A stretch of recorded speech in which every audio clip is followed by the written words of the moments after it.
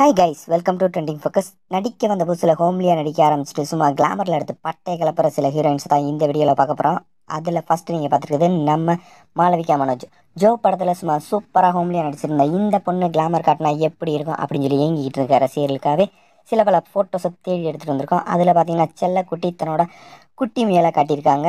நீங்களே பாருங்கள் நண்பர்களே அதுவும் இந்த லிஸ்ட்டில் அஞ்சாவது வர்ற நடிகையை பார்த்தா கட்டாயம் நீங்கள் குதூகலம் ஆயிடுவீங்க அந்த அளவுக்கு உங்களுக்கு ரொம்பவே பிடிச்ச ஒரு நடிகை தான் அஞ்சாவதாக இருக்காங்க இந்த வீடியோவில் ஸோ லாஸ்ட் வரைக்கும் பாருங்கள் ரெண்டாவதாக நீங்கள் பார்த்துருக்குறது நம்ம கருப்பு தங்கம். அதாங்க டஸ்கி பியூட்டி ஐஸ்வர்யா ராஜேஷ் ரீசெண்டாக பிளாக் கலர் சேரீல சும்மா சூப்பராக சில போஸ்ட் கொடுத்துருக்காங்க. அதுவும் செல்லத்தோட பறந்து விரிஞ்ச அந்த முதுகை பார்த்தோன்னா ரசிகர்களுக்கு பம்பரம் விடணும்னு ஆசை வந்துடும் அதுவும் செல்லம் கொடுத்த இந்த ரொமான்டிக் லுப்பு அப்பப்பா.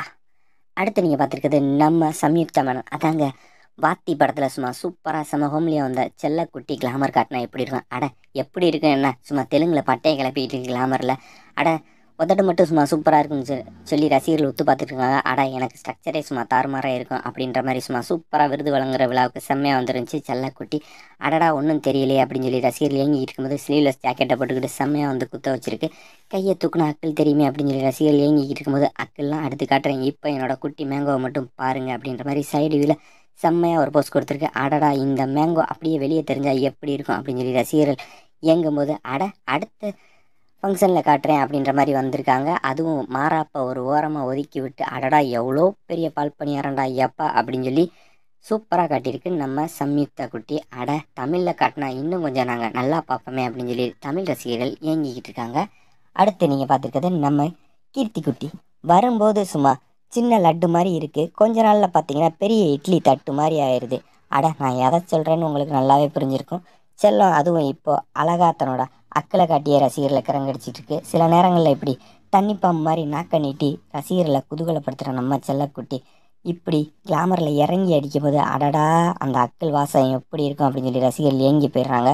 க்ளோஸ்அப்பு அந்த க்ளோஸ்அப்பில் நம்ம காஜி மம்மியை பார்த்தா எப்படி மூடு வருமோ அதே மாதிரி நம்ம கீர்த்தி செல்லக்குட்டியை பார்க்கும்போதும் இப்போ ரசிகர்களுக்கு மூடு முட்டிட்டு வரும் நீங்களே பாருங்கள் இந்த லிப்ஸு கிடைச்சா என்ன பண்ணணும்னு உங்களுக்கு தோணுது?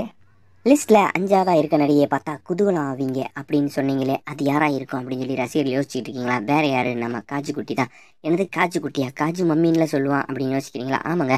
வரும்போது குட்டியாக இருந்த எல்லாமே இப்போ ரொம்பவே பெருசாயிருச்சு. நீங்களே பாருங்கள் இப்போது காஜு மம்மின்னு தான் சொல்லணும். அதுவும் செல்லத்தோட அந்த க்ளோஸ்அப் ஃபேஸை காட்டினாலே போதும் ரசிகர்களுக்கு கீழே சும்மா தம்பி தாறுமாறாக நட்டுக்கிட்டு நிற்பான் அந்த அளவுக்கு செல்லம் சும்மா தரமாக இப்போலாம் ரசிகர்களை மூடேற்றி விட்டுருது. அதுவும் இந்த மாதிரி முகத்தை காட்டினாலே போதும். நாங்கள் பாத்ரூமுக்குள்ளே பல தடவை படையெடுப்போம் அப்படின்ற மாதிரி இருக்காங்க.